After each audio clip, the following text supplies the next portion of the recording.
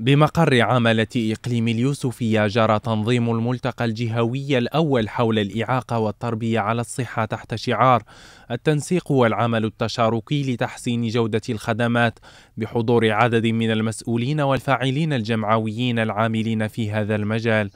الملتقى الذي نظمته اللجنة الإقليمية للتنمية البشرية باليوسفية بشراكة مع المجلس الإقليمي والتعاون الوطني والجمعية الوطنية لسفراء التربية الخاصة يندرج في إطار تخليد اليوم العالمي للأشخاص في وضعية إعاقة.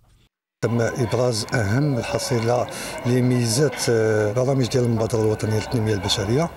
انطلاقا من 2017 إلى إلى 2022 واللي تميزات ببناء سبعة ديال المراكز. من بعد ما كان الإقليم كيتوفر على مركز واحد الآن ولا كيتوفر على سبعة ديال المراكز مجهزة بأحسن التجهيزات.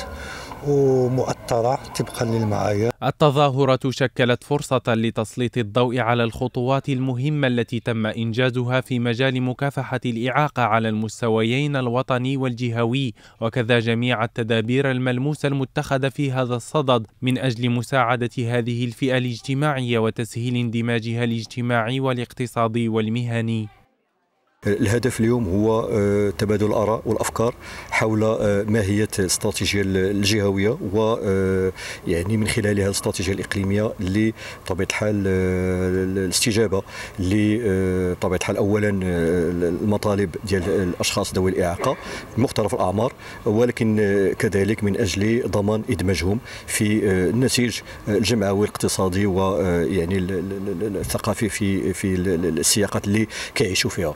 اللقاء هو فرصة سانحة من أجل يعني إذكاء الروح الروح الوعي الجماعي بالاهتمام بهذه الفئة.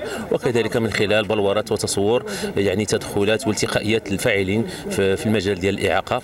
من من أجل تقريب الخدمة العمومية للفئات اللي هي في وضعية إعاقة. وكذلك التجويد ديالها آه، في في أفق يعني ضمان الكرامة وتكافؤ الفرص والعداله المجاليه وتم بالمناسبة التذكير بضرورة زيادة التحسيس بأهمية وضرورة العمل من أجل حماية وتعزيز حقوق الأشخاص في وضعية إعاقة من خلال ضمان شروط العيش الكريم لهذه الفئة ومساعدتها على المساهمة في جهود التنمية في المملكة.